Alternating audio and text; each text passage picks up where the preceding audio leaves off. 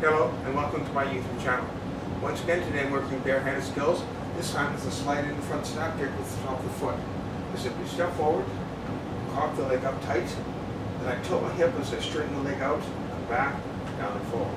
And I'm using the top of the foot into the groin so the kick's traveling in an upward direction.